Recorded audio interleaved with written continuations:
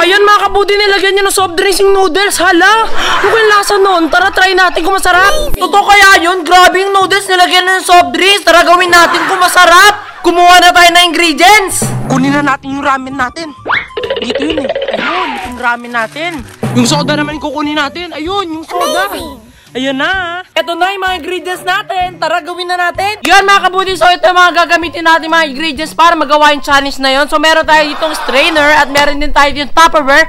At itong dalawa nating ingredients, itong ramen natin, pati itong soft drinks natin na kulay blue. So, ano pang hinihintay natin? Gawin na natin. Tara. Yan mga kabudi. So, ang una natin gagawin, ipapakuluan natin itong ramen para lumambot ito. Tsaka natin nilalagyan ng soft drinks. So, gawin na natin.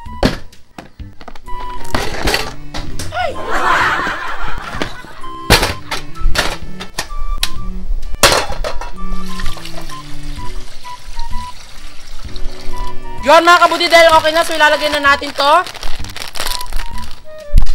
Yun mga kabuti so hinihintay muna natin lumambot yung ramen para malagyan na natin na soft drinks. Excited na ako. So dahil okay na so patay na natin. Yun mga kabuti dahil okay na so yan na natin isala na natin tong noodles dito. Ayan. Aray! Aray! Tapos, hugasan natin.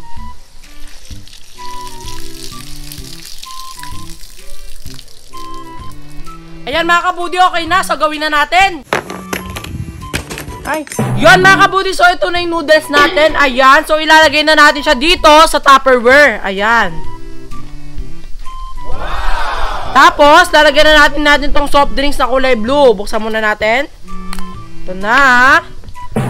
Ano na, pantay muna natin. Tapos, ilagay na natin. Ayan. Damihan natin. Titikman na natin kung masarap. Yon mga kabuti. So, may pa tayong onte. So, inumin na natin to, no? Kasi sayang. Ayan. So, tikman na natin to kung masarap. Yon mga kabuti. So, ito na. Ayan. So, tikman na natin.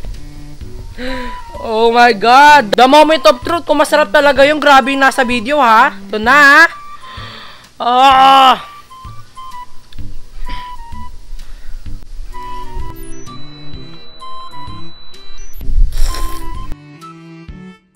What?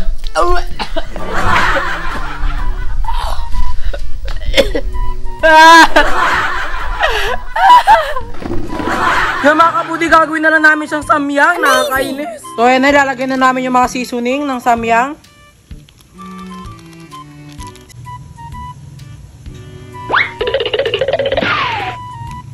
Haluin na natin. So, ayan mga kabudi, titikman natin to. So, ito na mga kabudi, tikman na natin to kasi yung kanina, hindi talaga, hindi ko talaga gusto yun. Ito na lang.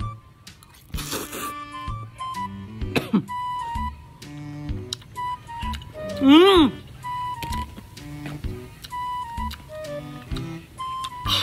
Sarap! Ang